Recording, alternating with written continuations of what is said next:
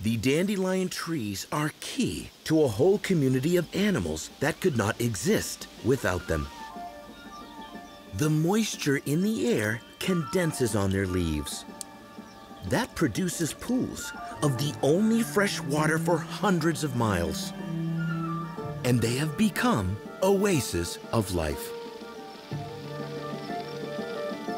Here, there is a unique species of dragonfly.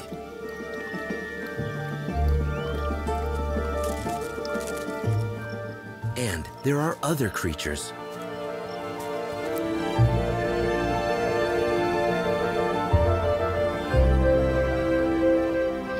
Galapagos carpenter bees feed on nectar and pollinate the plants.